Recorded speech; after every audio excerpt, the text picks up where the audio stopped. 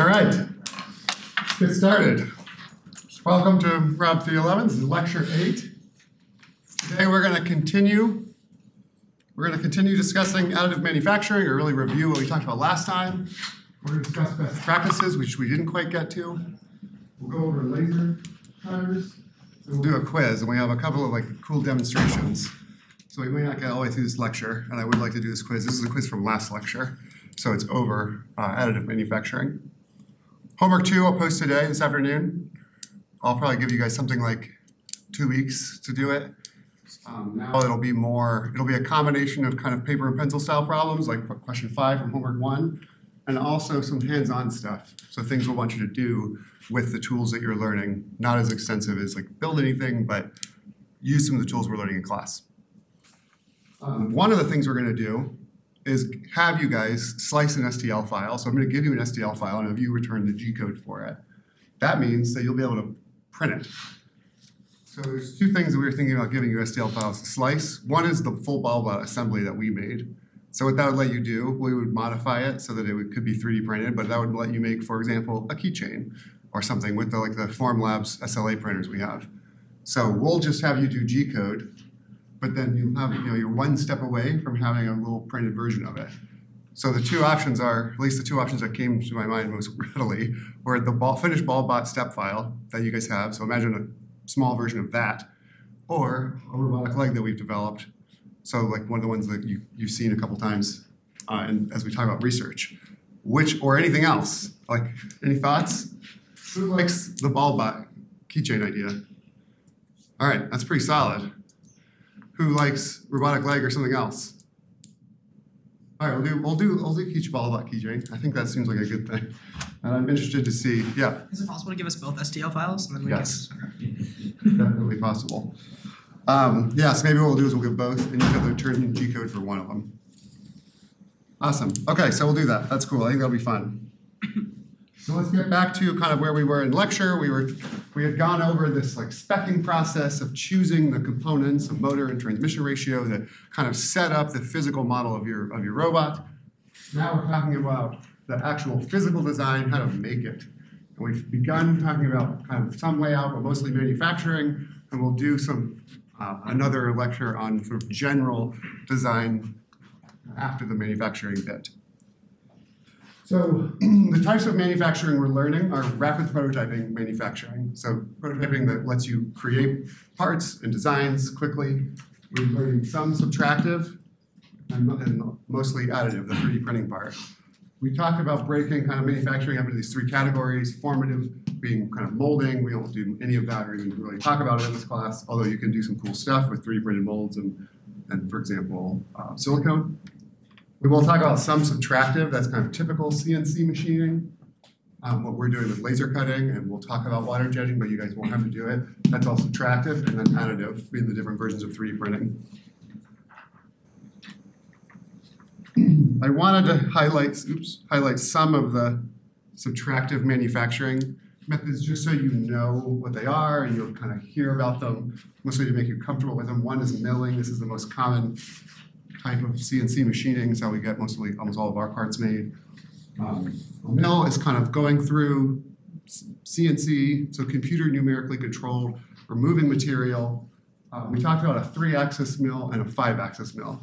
What are the differences between those? Slash, what parts? What are the differences in parts that those systems make? Yeah. Over because the end mill would hit it. So example like the teacup, Yeah. it'll drill into the top Yes, that's an undercut. So no undercuts on a on a three axis mill. So if we had a five axis mill, we could then move that mill bit around and kind of come at it from this face. Is there such thing as a six? This is a real interview question that I got at uh, Apple Product Design. So working on the iPhone. This is a real interview, technical interview question. Why are there no six axis mills?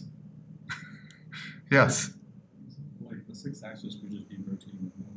Yeah, the sixth degree of freedom is the rotation of the mill bit, which it doesn't matter. So there's no there's no concept of the six axis mill because this, that degree of freedom is rotating and it's arbitrary. Nice, good job. You would have passed that interview. Um, okay, so So you can make decisions based on your design that will change it from three axis mill to a five axis mill. What was the major downside of a five axis mill? Expensive. Expensive. Quite awesome. Okay, and this is all traditional manufacturing methods. When we have parts made, our process for this, using traditional methods, is to is to send everything to China. It's machined in China and it's sent back to us. So we don't do any of the the manufacturing of our parts here because we're not really prototyping. We're certainly not rapid prototyping.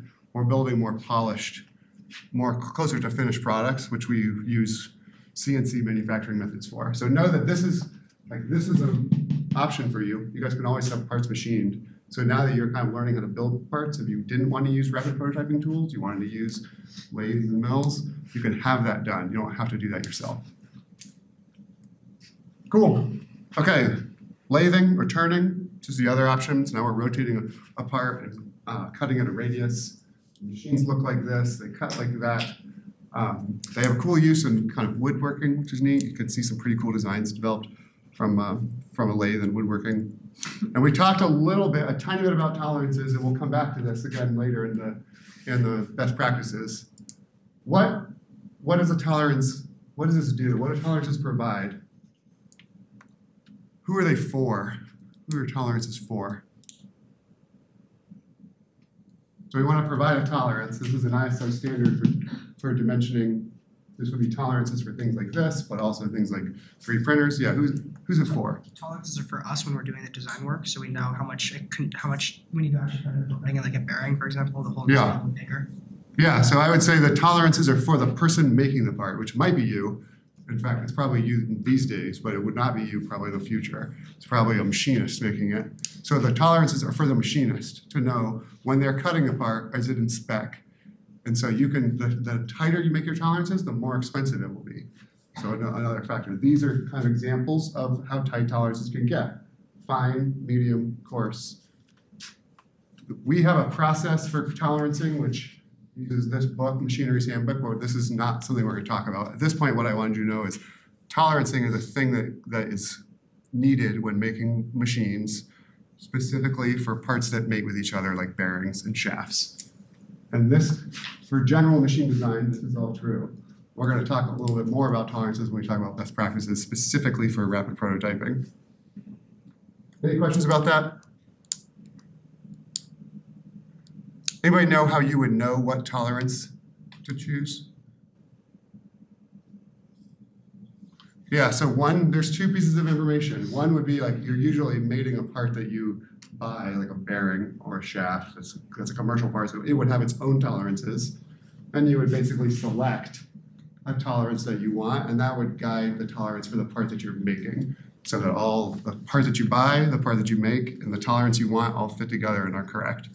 But this is something we're not really, just something you should can know, but not something you're kind of required to know for this class.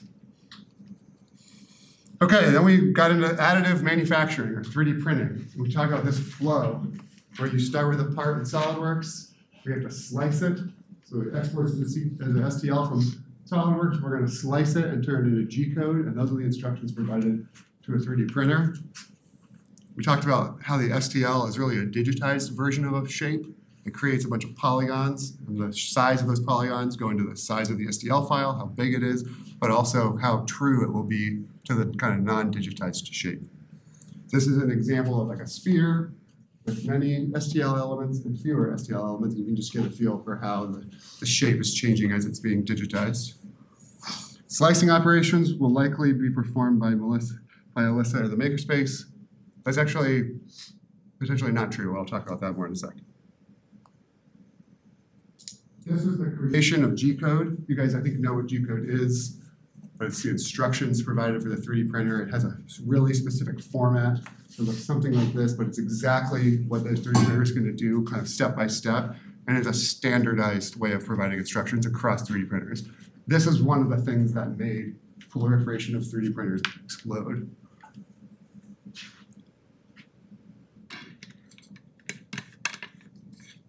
When you're doing the slicing, you may have some options about making the part.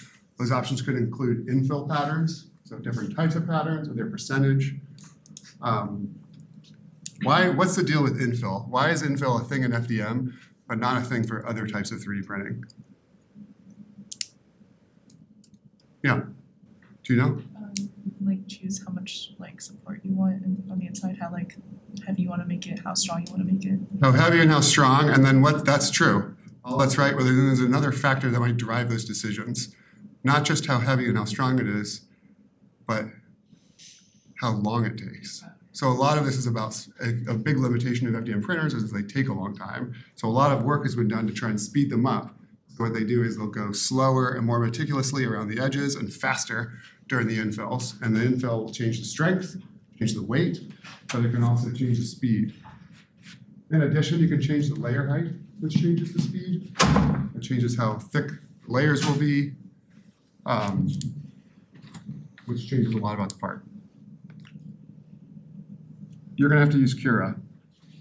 Cura is an open source slicing software developed by Ultimaker. It's gonna come up. Okay, now we got into like actual additive manufacturing processes. We started with FDM. Well, this is the most common type of 3D printer and it works kind of exactly like you would think it would work. You're squeezing a tube, of toothpaste, and they're drawing apart with it. So it really heats up a plastic through a nozzle and then it injects that into a uh, print bed where it creates a part. Common plastics would be ABS, PLA, or nylon, those are the kind of the most common. And these can be hundreds of dollars to tens of thousands of dollars, maybe even more than that.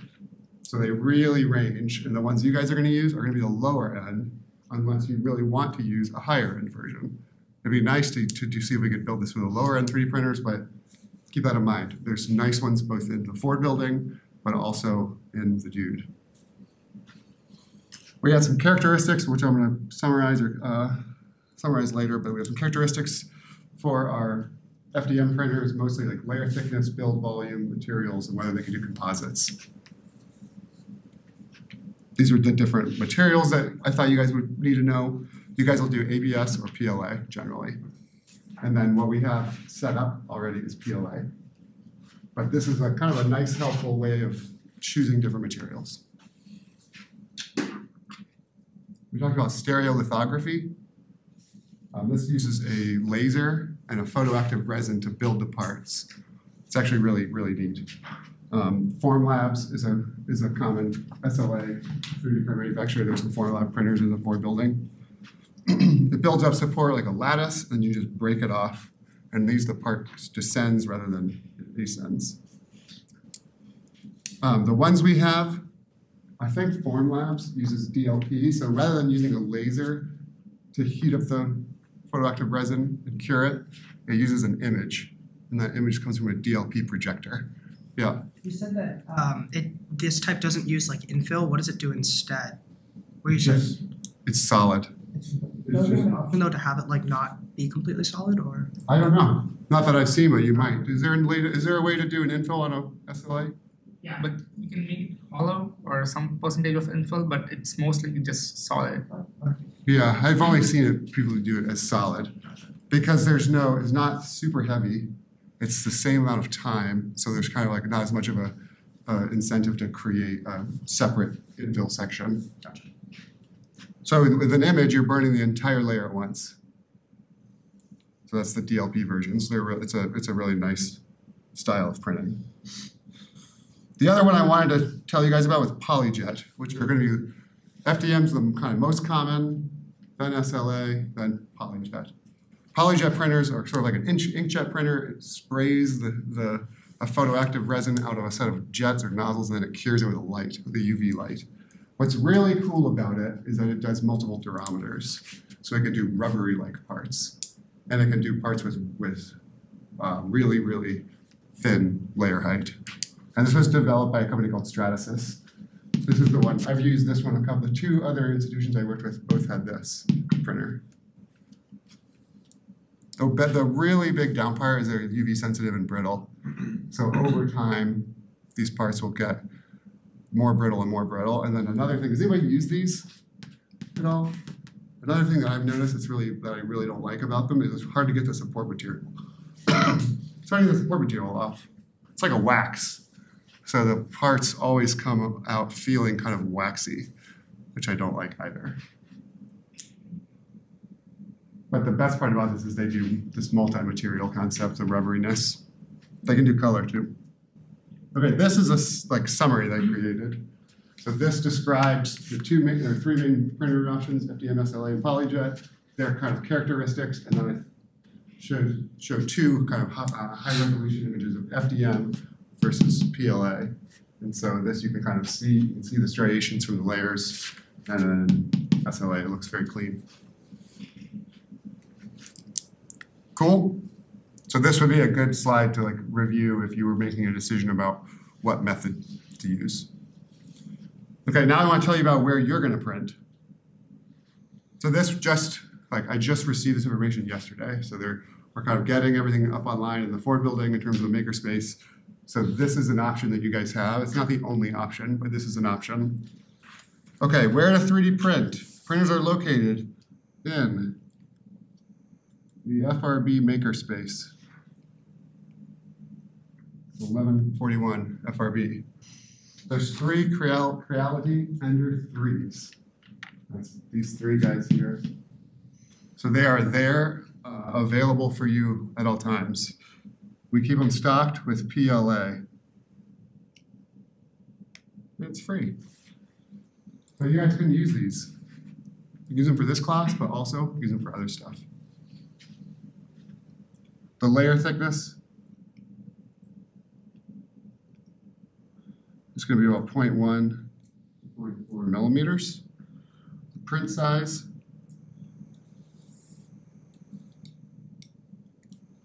is two hundred twenty by two twenty by two fifty millimeters. So that's your volume. You make something bigger than that, it's not gonna print that printer. Um, you'll have to use slicing software. Just Cura. And we'll save G code to an SD card that you then insert into printer. Everybody have their laptops? Everybody go to Canvas. Go to Canvas, go to Files.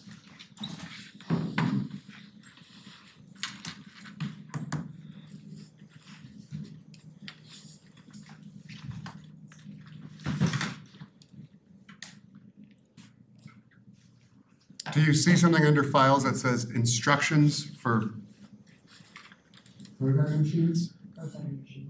Okay, so, oh, go in that folder, you should see three D printing, water jet, laser cutter. Those, inside those folders are the SOPs, the standard operating procedures for those machines.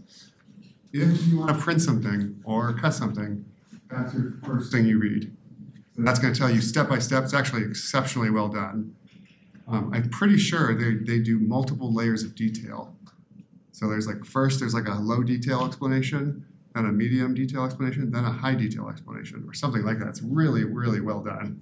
So we have those for all the machines you're gonna use. That's kind of step one. It's gonna tell you some of the stuff that I'm telling you in class. But I kind of put some of the important stuff into that. So you would use Cura, it's gonna tell you to use Cura, to slice your your STL. And then you would put it on an SD card, you would insert that SD card into this 3D printer, and it kind of talks you through that process. And you would hit print. So where do you guys find instructions about how to make stuff? Canvas, in files, and the SOPs. I also put them under lab four, uh, for the, for the FDM, I think. Okay, so this is where your three D printers are, like I wanna, like, I think we should start with these, let's try to see if these make the parts well enough.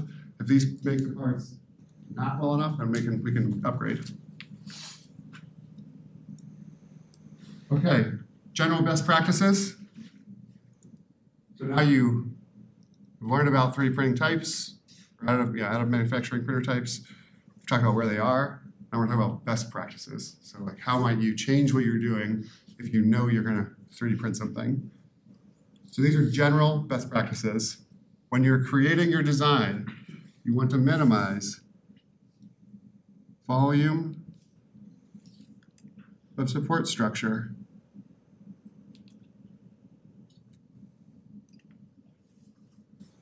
So you can, when you're considering your design, consider how it's gonna be manufactured. You might wanna change the way it's designed or laid out such that you can make it easier on the printer. Minimize volume of support structures. And then check that support can be easily separated.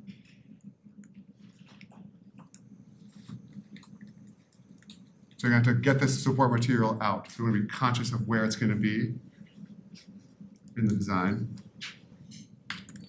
Add tolerancing. We're gonna talk about that in a second. Before slicing. So tolerancing in general is this idea of like creating fits that you want, but in a three D printer, it's got this extra issue of having some error associated with prints. So we're gonna do another layer of tolerancing to to watch out for that and to kind of account for it. We'll talk about that in a second. So we're gonna add tolerancing before slicing. Minimize overall print time. Maximize stiffness.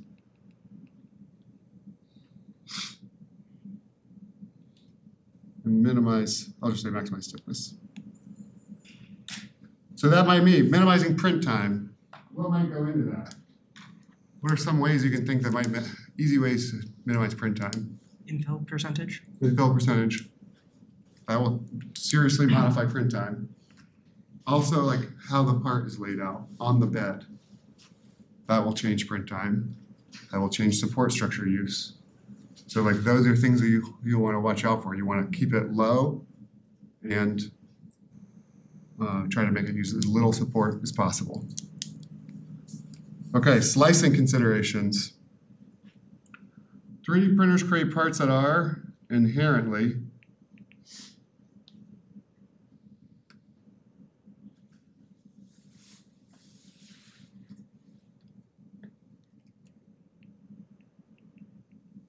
isotropic or anisotropic. What's anisotropic mean? Talked about it last time. Strong lean one direction. Yeah, properties are different depending on the direction. So these are gonna be stronger in this direction. X, Y, which we'll say is the print bed. It's gonna be weaker in Z directions.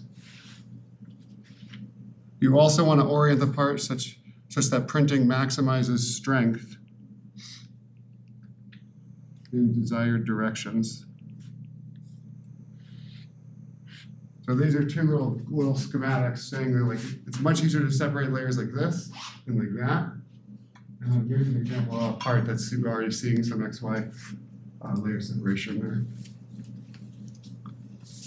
Infill considerations. Always use an infill percentage less than sixty percent.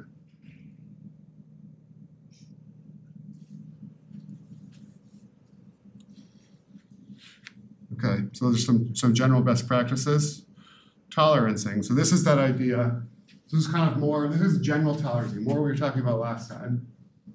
Tolerancing can be broken up into whether you're, is something is moving or not moving, static assembly versus dynamic assembly. Transition fits are where there's potential for the parts to overlap. Interference fits means the parts will likely overlap. And then clearance means the tolerancing zones do not overlap. So there will be space between the parts. And what we're doing for three D printing is really a modified version of this. So we, I told you that we use fits that are called running fits, um, or sliding fits, so we're like in this clearance world, running is tighter than sliding. We are, we live kind of right here in my research group. For three D printing, you're gonna live like way over here. So you're going to have to manually go in and add or change dimensions. So if you have a, a, a pin in a, in a hole, you may need to add zero point two to zero point three millimeters to the diameter of those parts. How would you know kind of exactly, or like, what, what would change that number, zero point two to zero point three? Yeah. If you test it and it doesn't work, That's definitely true. If you test it and it doesn't work, you would definitely modify. But that number is gonna be dependent on how large the di- how large the part is. So the larger the parts are, the larger space there might need to be. Until you test it and kind of know, dial it in.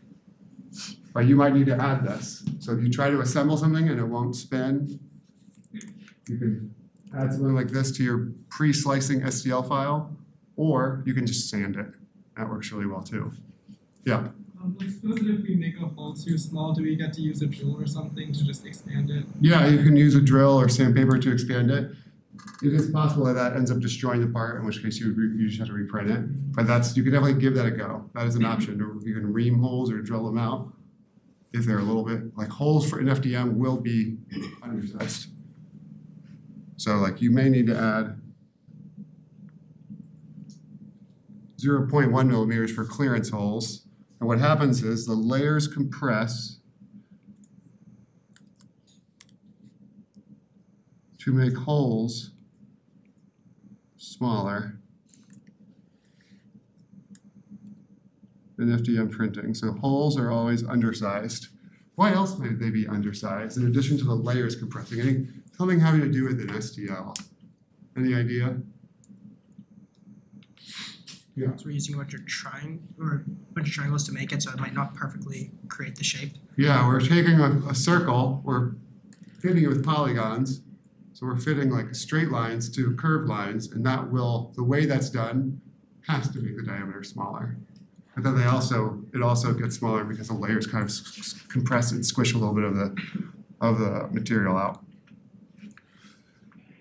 Okay, so this is to tell you, you might have to go in and modify your holes or your shafts differently than you would for normal machining normal traditional machining processes. So you have to go in and add extra space. Okay. This is real important. This is another thing, and we have a demo for this. There are lots of ways to add fasteners into 3D printed prototypes. Some of these are better than others. This is the best. This is a heated threaded insert, so it's usually brass or somewhat some like softer metal, heat it with a soldering iron and insert it into a specked hole. It melts the plastic, the plastic kind of uh, engages the insert, which has some knurling on it, and holds it in there, and it makes an awesome way to attach. It can hold, hold lots of force. The threads are very clean. We're gonna we're gonna actually do this at the end of the slide. We're gonna we're gonna break. We're gonna come up. We're gonna demo that up here. So these are awesome. Use them when you can. They're cheap and effective. This is another common way, this is what we did on most of our ball bots, is for you can, if you know you're gonna capture a fastener, you're gonna capture a nut, you could just design something that captures that nut into the prototype.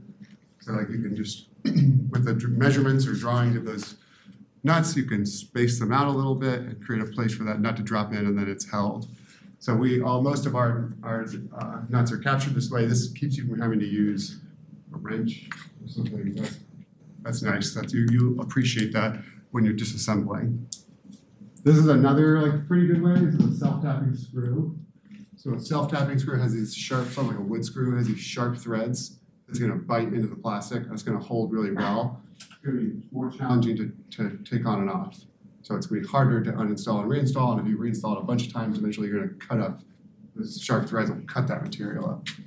So this is great if you don't have to assemble and disassemble much all of these, like let's say you you have a fastener here and you wanna know how big should that hole be? If you find that fastener, something like McMaster-Carr would have a little drawing for you, or you could just measure it, but you can get all that, all the information for this you can get online. Fastener information is very easily found.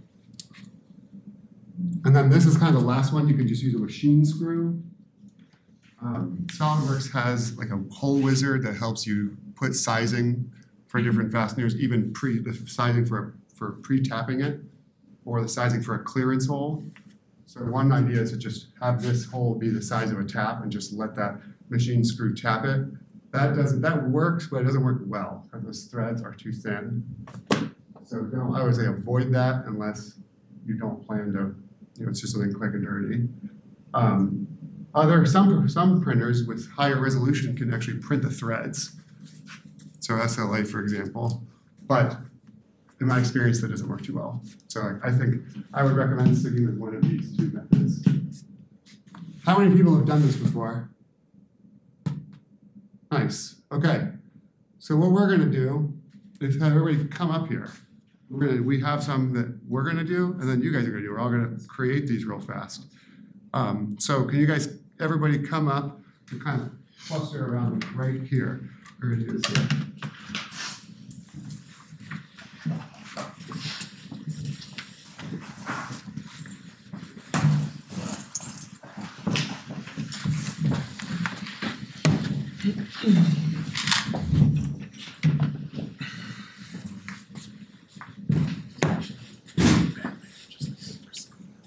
Pass something around.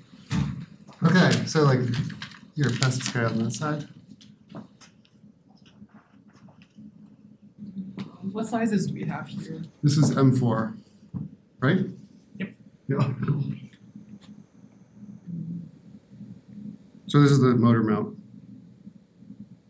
Pass that around. So take a look at the threaded insert. The way it works is you put a, a spec hole, so that hole has a diameter that's required. We have to know that. We can let you know what, what size that is. It'll say kind of on the packaging, I think. And then, so there's a spec hole, we have our threaded insert and a soldering iron. We're just gonna put this in the hole, put the soldering iron on it. It's gonna heat up. It's gonna take about two minutes. And then you're gonna feel it. If you give it gentle pressure, it's gonna just squeeze right down in there. And then it's done. Then you pull the soldering out, soldering iron out and let it cool.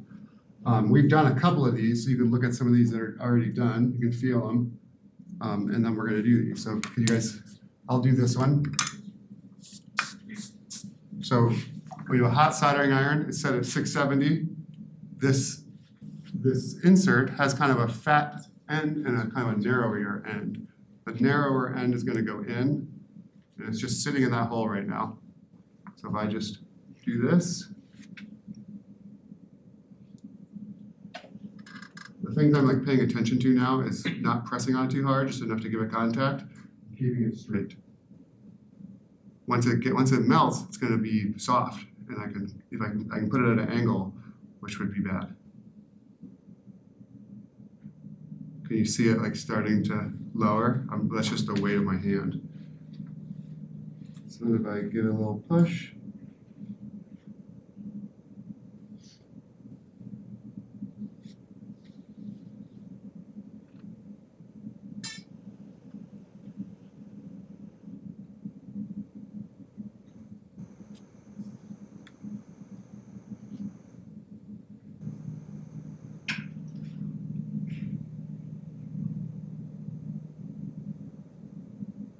So I'm, I think the, uh, I felt like the tip was, yeah, the tip was kind of going through into the silicone. So I put it up on this edge a tiny bit just to give it a little more depth and I'm trying to, trying to make it flush.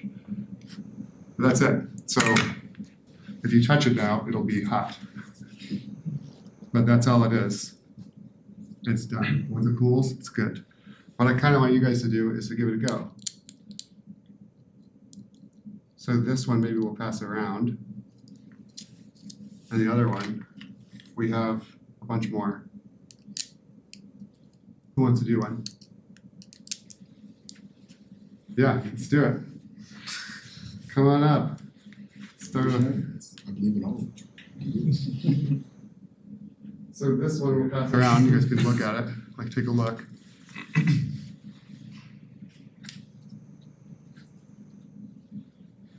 And then this one you can do. So that guy, soldering iron. This one's a little harder, that hole, because it has, it's inside the O. So Okay, it has like a little bit more of um, I'll probably avoid the O then. yeah, then you you try to do one of those. Okay. Is there already a hole there that, There's already a hole. There's is al- that so you're supposed to start like that, like with a hole there as opposed to just being like kind of just straight plastic? It has to have a hole. Yeah, you drop it into a hole. A, a hole that's the right, it's sized for that. Yeah. It takes some time, so you gotta give it a, a minute to warm it up.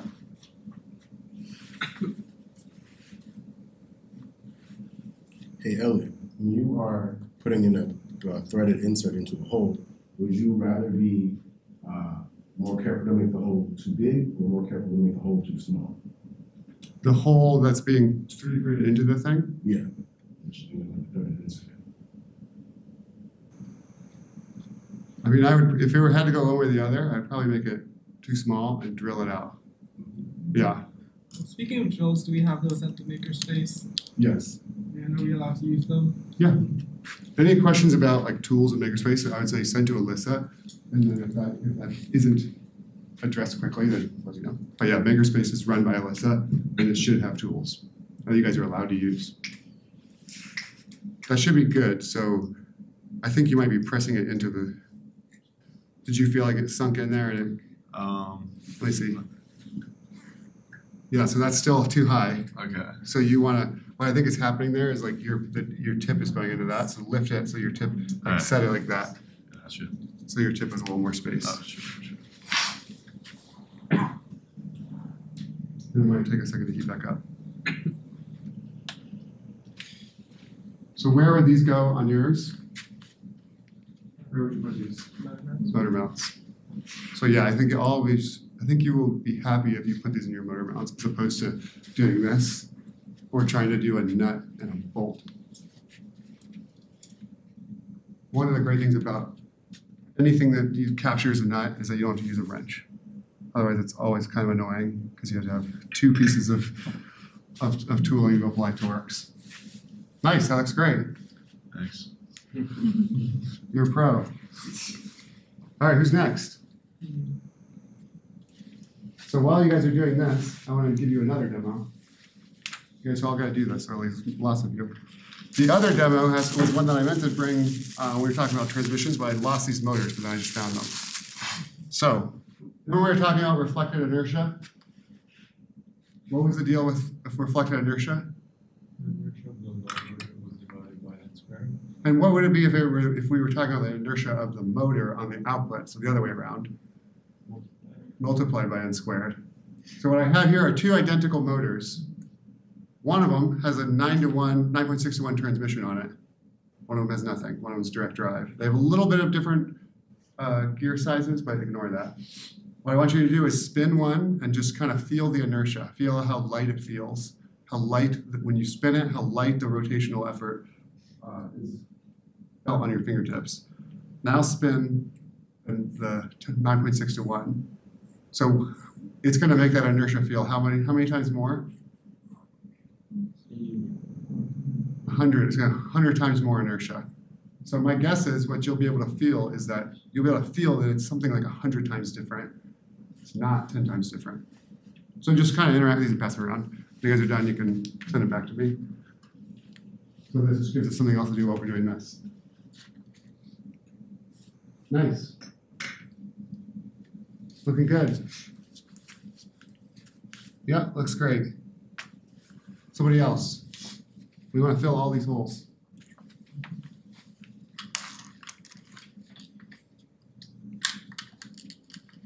Should we still use nuts and bolts for at least motor mounts because of our team team name?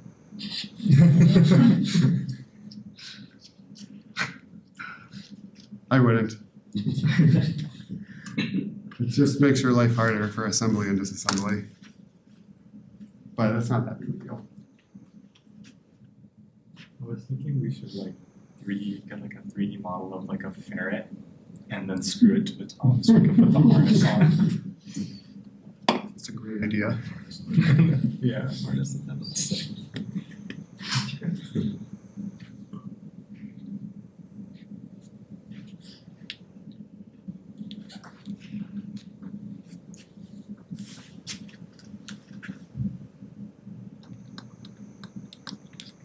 There are two soldering irons.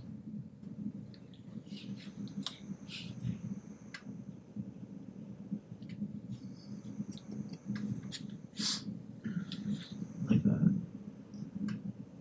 Mm-hmm. Yeah, it looks great. Perfect.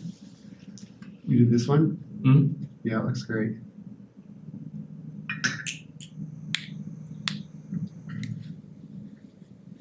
Who's next? Is this somebody from the right side of it? That's the problem. Leaving that. Or you said you've done it already, right? Yeah. It would be better if somebody who hadn't done it already.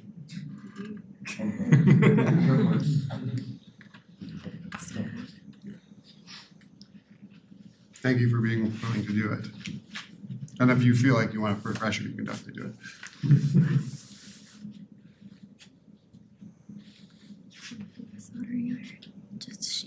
What happens if you don't get it in straight? What's, what is like the likelihood of it, what scenario is more likely? If you put it in at an angle, and then you try to assemble it. It's the screw won't go in, or mm-hmm. worst, worst case, you would cross thread it. There's no cross threading. Who knows, who doesn't know cross threading? Cross threading is where you would put something in, a fastener in at a slight angle, and it actually captures the next thread instead of the top thread. And so then it's going in, instead of going in straight, something like this, It just locks out. it goes in like this. And it goes in for like half a turn, three quarters of a turn, and then it feels like it ran into something, running into the wall.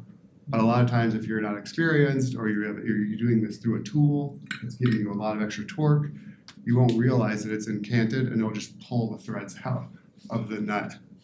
And then it's a big problem, so then you're either like replacing this, throwing the part away, or in the case of metal parts, you ins- something called a helicoil, which kind of gives it a new set of threads, but it's sort of a nightmare. Like once you cross the threads, something it gets a lot harder to fix it. So it's nice to keep every, everything in flat. And you always start a fastener by threading with your hands. You'll never cross thread it. It's only when you're you're only going to cross it with a tool. So I always start threads with my hands as a result. Cool. Other people? We should fill all these things. Then Where are the motors at right now? Can you feel them? Yeah, it's gonna be hot. Um, can you feel the hundred X difference in inertia, do you feel like? Does that feel like that was, is that like helpful for understanding reflected inertia? Okay, good. Now we're reflecting it on the output there, so we're getting the hot- the n squared increase.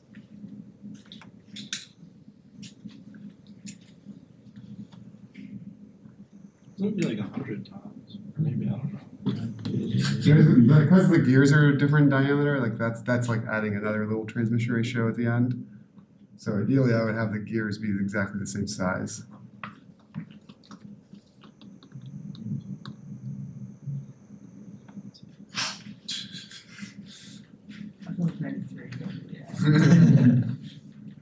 Okay, I have an idea. Let's try to rip one of these out. I'm gonna try to rip this one out. So this one is not in an O, so it's just the regular one.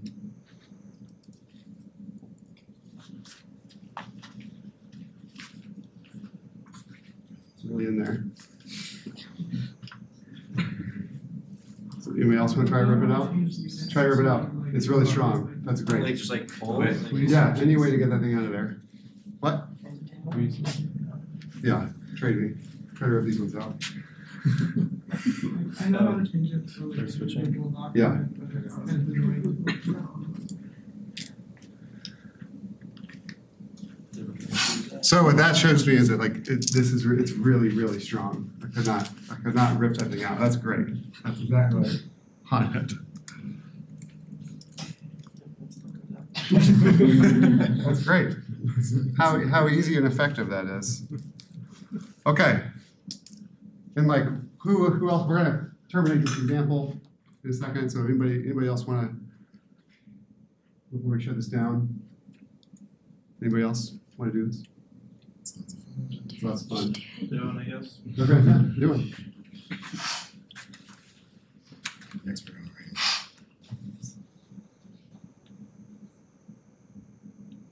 on it. Simple and effective. The best. Best answer. And they all have these, correct? They all have like, Yeah. yeah, we, so, got M four threaded inserts. sweet, so we have these for you guys, if you wanna use them. So what this might look like, uh, for your, for your motor mounts, for instance, like you have holes for your motor mounts. But there's gonna be, uh, a size of like this M four threaded insert, which may or may not be different than the holes of your motor mounts. So like when you guys are making your parts, working on SolidWorks, I think the check is, okay, well, how big is this threaded insert hole? And does that match up with my motor mount? Um, so I think that's a thing that you guys are in lab if you're at home working to consider to make sure that you can, if you want to, use these threaded inserts as opposed to something else. Um, And I think Elliot made a really good point that these four ways that he's showing you, you can, all of these will work, but like work to different levels uh of uh of effectiveness. And so, you know, at first you might be really excited because you're gonna build your ball bot, that's gonna be awesome. And you're like, I'm just gonna use machine screws. But, you know, three weeks from now, when you've had to, uh, you know, take the screws out and put them back in forty times and now things are like really loose, that's when I think these threaded inserts or even using the hex nut method can be really useful. So I think a good thing to think about when you guys are designing parts is like think about your future self. Whenever you know you're like, oh yeah, like I got this homework assignment, I have plenty of time to do it.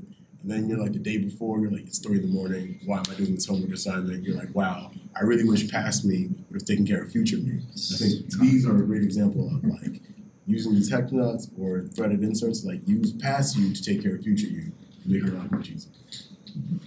Why do you have to take this apart though? He thinks So like, it might be something where there's a bunch of reasons something breaks, uh, maybe the part is like too thin, maybe uh, you realize, oh, I put the hole in the wrong place.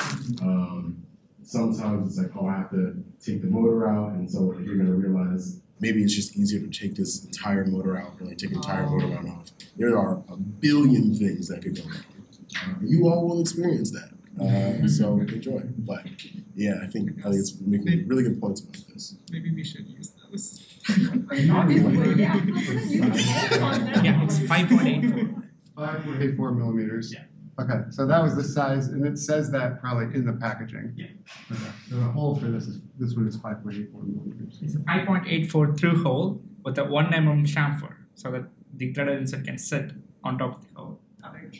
One mm chamfer, forty five degrees. You guys know what a chamfer is? Just like the hole inside the hole, A right? chamfer is, is taking a corner and flattening it, so it has like a flattened section.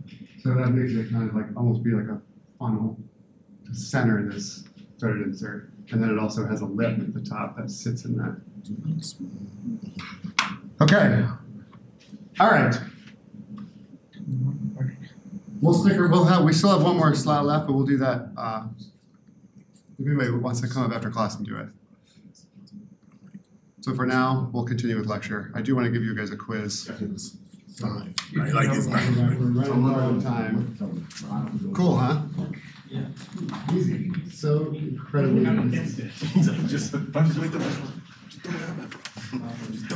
hole have to be to the point where it can't melt the, the metal can't melt the plastic. Yeah. I don't know if that's what you just said. No, that was, that's what we were just asking. about. Yeah, no, I was just listening to your conversation, that's what I was wondering. Okay. So I think that hopefully is helpful for you guys building machines. Now you can sort out many different ways to do fasteners and then some are real easy. Another thing that I want to mention, another sort of like best practice thing, is a lot of times you might be trying to build a robot and you want a solid model to, to help you with the building of that robot. Maybe a solid model that's like something from society, not necessarily a machine you're building. So many times you might want to make something that requires the solid model of something common. Like an iPhone, maybe make an iPhone case. Or maybe you wanna make like something that mounts to the body, you might need like a body part, like a leg or an arm or something. Um, these types of solid models can be downloaded from repositories that are really, really awesome. The best, or what I like the most, is GrabCAD.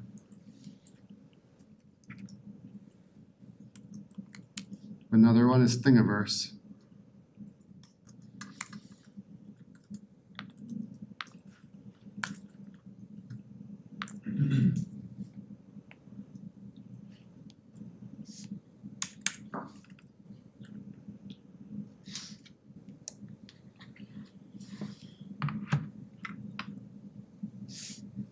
Um, GrabCAD has like over 1.3 million solid models from all sorts of types of solid models. Um, people create them and upload them, and you can create an account, download them, and use them. Same thing with Thingiverse. Thingiverse, I think, is more commercial products, and GrabCAD is more like a user community, but I could be wrong about that. But I use GrabCAD a lot. So it's an online repository of one point three million solid models. And it'll tell you like what kinds of solid models it has, whether it's a step file or a solid part or an IGES, yeah. What kind of things have you used off of GrabCAD? For example, like human body parts. Yeah, downloaded like legs, feet from it. I've downloaded like a cars off of it, full car, full scale cars. I mean, you can download anything. I mean, there's tons and tons of solid models, and they'll be in all different types of formats. Yeah, What's that word in the after something? common. What I was trying to do here, I tried to do this last night. I was trying to, what I wanted this to do is, I was gonna download a, I download a solid model from GrabCAD, and I was gonna try to insert a three D PDF right here, which would let me like spin the file. But I couldn't figure out how to, how to get the uh, PDF to insert into the PowerPoint presentation. But I can show you, if you guys want, I can show you a three D PDF. Um, that will Maybe I'll do that next time, but it's just a way, it's like an STL file, like a way to share solid model information, but you can share it in a PDF, which is cool. So that's what I was trying to do there. I downloaded a really cool race car to show you. What I've been in for. So these are just, these are all different repositories, and I like GrabCAD. But it's a kind of a really big thing, is just having these repositories of solid models. So with your three D and printing instructions, you download and print them anything, little race cars. I think Thingiverse is all STL files.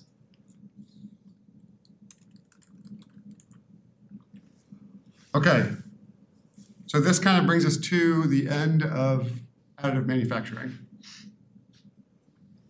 What we're gonna do now is talk about some subtractive manufacturing. We're gonna start on laser cutters, talk through a little bit about them, then we're gonna do this quiz. And the quiz is from last lecture that we didn't get to. Any questions about additive manufacturing before we move to subtractive? How do you feel right now? Like, how would you say you feel? Like, what's your comfort level with additive manufacturing from this class? Like, how, how do you feel comfortable with it? Yes. Did you feel comfortable with it before this class? So how many how many would say this class helped them feel comfortable, these lectures? All right, that's pretty good. I'll take it. I'm just trying to gather like when we're creating these lectures, it's a little bit unclear like how much depth to put. We kind of have a long way to go. But I appreciate that feedback. And I think I, I'm I'm happy with the way we're going through the material, so you guys know. I feel good about it. Okay, subtractive manufacturing. 3D printing, probably your best tool for rapid prototyping. Um, well, no, let me let me like say it is a amazing tool, but we're about to learn also some amazing tools. Laser cutters and water jets. We'll mostly focus on a laser cutter because that's what you're gonna use in this class. But a water jet is probably, if someone asks me what's my favorite rapid prototyping tool, it'd be a water jet. Okay, so we're gonna learn some subtractive methods that are quick and easy. Subtractive manufacturing is gonna be CNC machining. We're not gonna talk about, it's laser cutting and water jetting.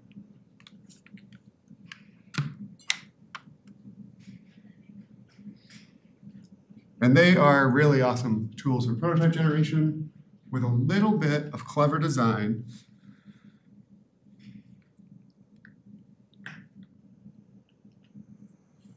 Goes a long way. Look at these parts.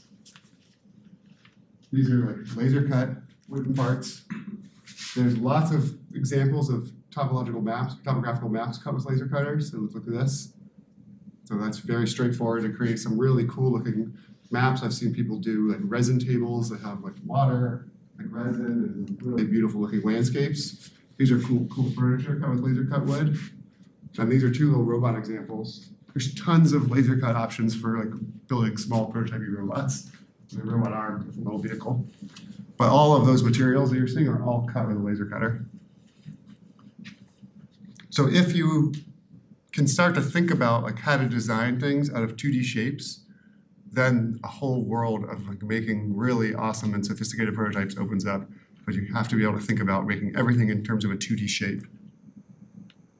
How do laser cutters work? A laser cutter focuses a laser onto the surface of a part. So we have some sort of laser generator. We're gonna talk mostly about CO2 lasers.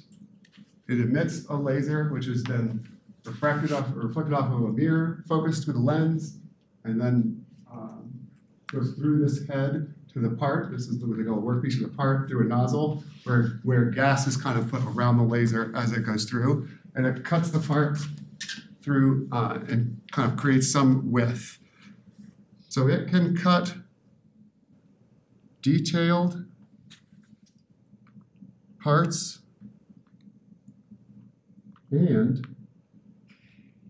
raster images. More about that later.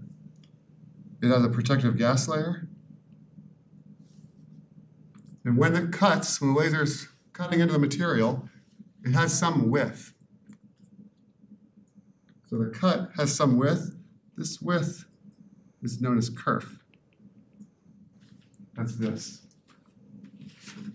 So kerf is the material removed by the laser. There are three types of laser cutters. CO2 lasers. This is a tube.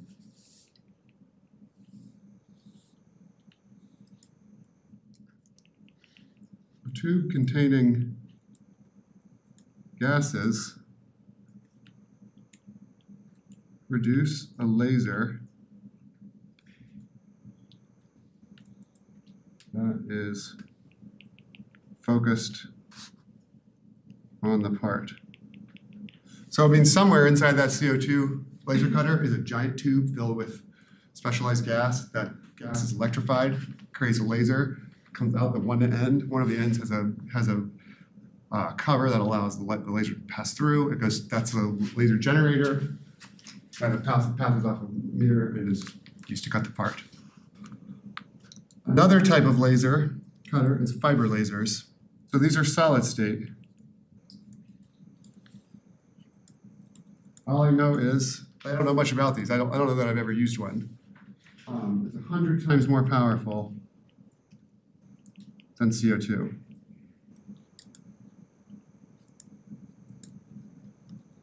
Versatile, like I think a, a fiber laser is a really versatile type of laser cutter. It's extremely expensive. I don't know that we have any here. Yeah. What's what do you mean by solid state laser? What does that mean? That I, I have to look up. I'm not sure, other than, I don't, I mean, it doesn't have a tu- a gas tube. It generates a laser in a different way, but I don't know enough about laser physics to know like what it is a solid state is creating, but it doesn't have a laser tube. And I don't know, I mean, I don't really know how common these are. I only, these are everywhere. These are like in every makerspace or prototyping shop in the country. These, I'm not so sure. Do you guys, ever, so there, have you guys seen these fiber lasers or these? I don't even know how to say these other ones. Online it says it costs from two twenty-five thousand to two hundred and fifty thousand. Which one? Fiber lasers? Yeah. Yeah, sounds about right. We were just talking about that the the the makerspace has a metal laser cutter and then it also has an acrylic laser cutter, which you guys will use the oh, acrylic one. It does have a metal, it it might be a fiber laser. That's that's what we were thinking about. It's either it uses like nitrogen or it's a fiber laser. That's actually what we use to cut the M blue parts. So like Okay, yeah, we'll find out, let me find out more information on that. I don't know that you guys will use it for this class, but whatever that is, it's probably awesome and we should use it. Should know about it as a resource. So I'll find out and we'll figure, we'll like let you guys know. This is an extremely powerful laser. Has a narrow focal length. And it cuts metals or cuts many materials, including metals and some ceramics. We are going to focus on this.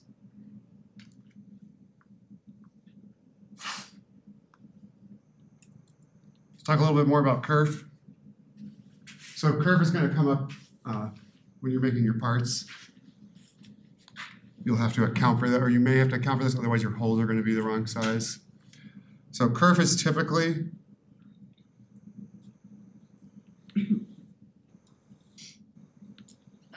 typically like 0.08 or 0.45 millimeters on on the CO two laser. It depends on laser optics, material type, thickness.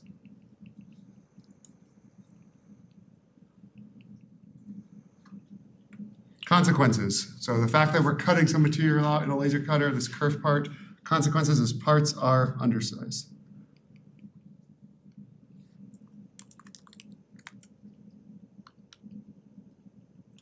And holes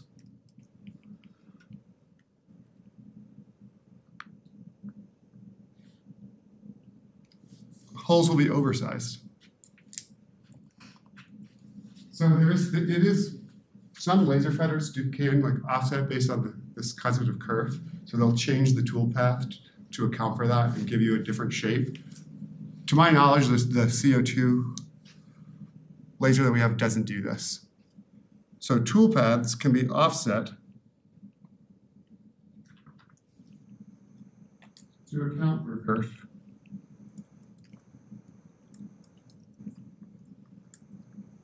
A universal CO2 laser does not compensate.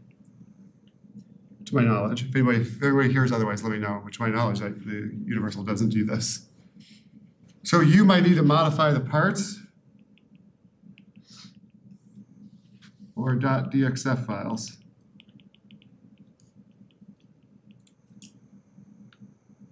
to accommodate kerf.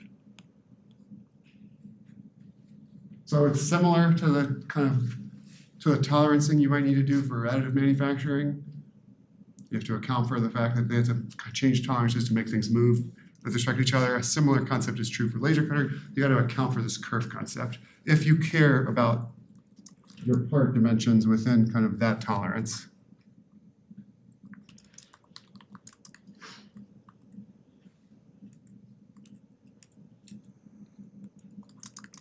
We're gonna cut acrylic. There's a little bit to know about acrylic. I want to tell you about it. So our laser cutter cuts acrylic. Also known as, anybody know the other names for acrylic? There's a bunch of names.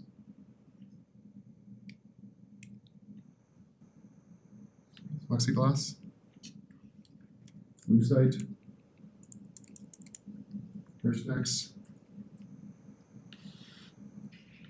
Polycarbonate. Is that, is that acrylic? No, it's not acrylic. I'll come back to that. Okay, manufacturing methods, two types of acrylic, cast and extruded.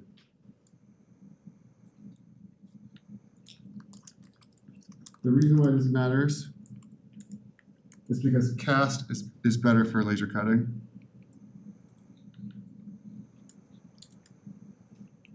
The acrylic you guys have is cast. You can also get extruded, this is better for thermoforming.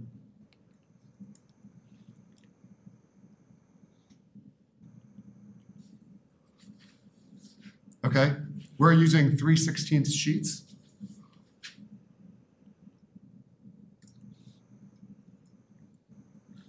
So when you cut these, you have to know the thickness of that material, it's gonna be 3 16ths.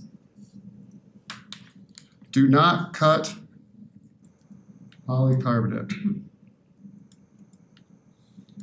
Or also called Lexan.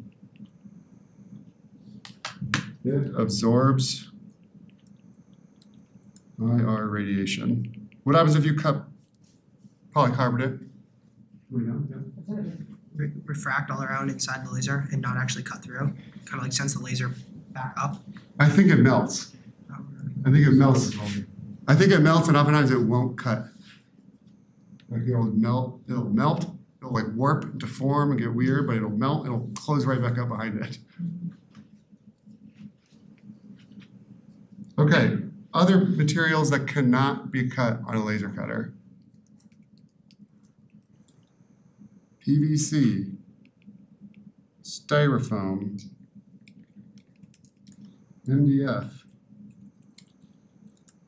glass, metals, chlorinated nitrile rubber. So the list of things you can cut on a laser cutter is not super long. If you cut the wrong materials, it can be very dangerous. A lot of times, for like anything with like PVC, styrofoam, it creates chlorine gas if you use it on a laser cutter, which is deadly. Yeah. What is MDF? MDF, it's medium density fiberboard. That's like what you would see everything made of. This is MDF. It's like compressed sawdust with glue. It's like what shelving is made from. Looks like wood, but it's not wood. Looks like plywood, but with much smaller particles. So some MDF would actually be okay, but it'd have to be um the the glue used to hold together has to be laser compatible. So for now, I just say don't don't use it. Other materials that can be cut with a laser cutter. Obviously acrylic, but also paper or cardstock, hardwood, laser grade plywood or MDF, leather. So laser cutters cut some materials and if they, if you can work with these materials, then you can develop a lot of really neat prototypes with laser cutters. This is our laser cutter. The universal CO2. Um, seventy-five watt, which is on like the higher end of the, of the CO2 laser spectrum. We already talked about this, the instructional standard operating procedures that were uploaded to Canvas, so you have those. Laser cutters can be dangerous. So they, you have to follow, like, make sure you read the SOP, follow the safety instructions. You have to turn on the gas, you have to turn on the air, you have to make sure the vents are open. Like, so there's some sets that are all kind of discussed in the SOP. You just wanna make sure you do that, make sure you do it with, with Alyssa. Uh, guys, make sure, you guys all did get your laser training when you, laser cutter training, when, uh, like the first lab, right? Yeah. Do you guys feel comfortable using it without without her without Alyssa with you? No? Okay, yeah, I think it's okay to have Alyssa be with you. That's probably what I would do. It's good that you've been trained on it, and like I would say, as she works with you, try to learn it so that you could use it without her there. But I'd say if it were me, I would have her there just because of the intensity of laser cutters. Um, okay, there are settings within a laser cutter. We're gonna talk about those for a second settings. They have, there's power, which is laser intensity. Speed. Cutting speed, how fast it's traversing. PPI, which is laser pulses. For rastering. Z-axis is always set zero. So if we look at this, this is the program that you would actually use, you guys probably saw that during your training, the program you actually use to run the laser cutter. Um, and then here are your settings, and then here are different colors that, are attached to different settings.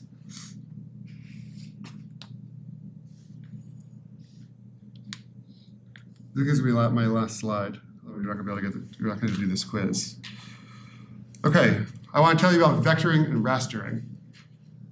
Um, these are two different types of graphics. What are vector graphics? What is it? Line art? Or you just have to Yeah, that sounds right, but what, do you guys know there's something special about what vector graphics are, what they contain, the information they contain? What can you do with vector vector graphics that are different than normal? Don't they just contain equations so you can scale everything perfectly? Right, they, they contain basically like the vectors to where the points are as relationships instead of locational dots of color. So you can scale it and it doesn't lose resolution, so vector graphics can be scaled.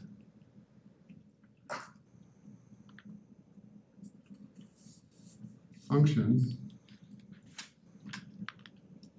represent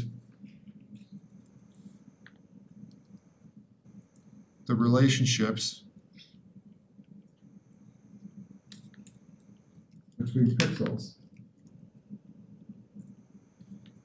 Raster graphics is the other version. So raster graphics, like a bitmap, would be just a set of locations of colors. So these are individual pixels. Not scalable.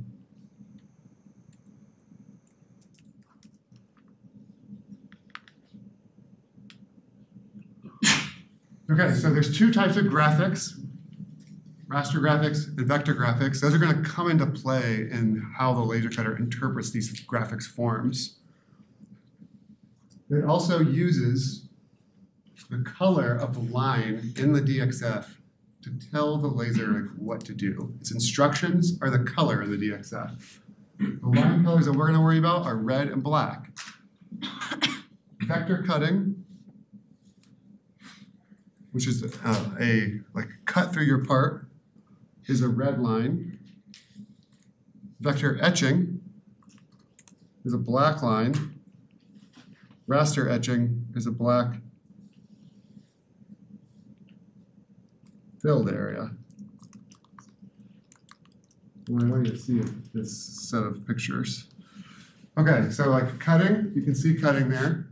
Raster etching is just making it so it's dark, but it's not cut out.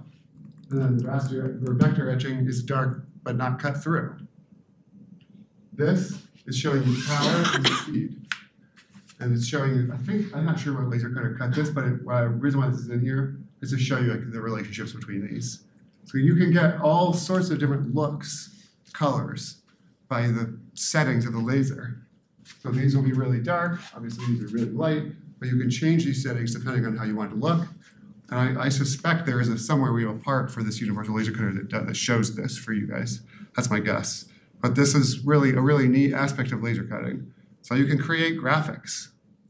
You can create colored graphics because you can change, you know, colors can be represented by this palette. So it, it- the rastering part's really neat. Other colors are user definable. I don't know if you remember, like when you just looked at the screen for the laser cutter, it had all these different colors, so it was defining different settings. Let me show you it's this. So these are the these are the colors, and it's defining the speed and the power and the PPI for those colors. So if you were to open your DXF and change the colors to these colors, it would interpret those colors as this way to cut. But I think all you guys really need to know is red and black, unless you wanna unless you wanna like mess with it. This is from uh, a website I found. This is for our universal CO2 laser. These are a bunch of materials: acrylic, aluminum, cork, glass, leather, marble, matte, matte board, plastics, rubber, blah blah blah. And it gives all the settings for those. So you would probably want to confirm this with a test part or something, but this is like should get you pretty close. Somebody say something? Good question? Okay. Okay, so this gives you like some of the information you need to set up a laser cutter for different materials. We're gonna stop here, I'm gonna give you this quiz. Um, and then we'll continue with this next week. This quiz is kind of just to kind of gauge your, your knowledge of how you're tracking with the additive manufacturing lecture.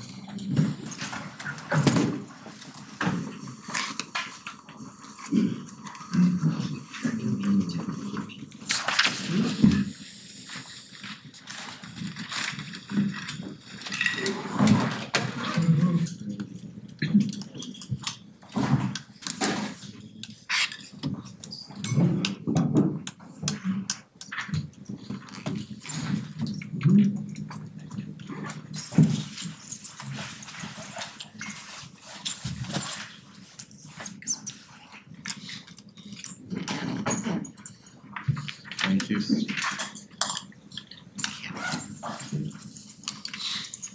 When you're done with this, you can feel free to take off. And then uh, we'll post the homework later today.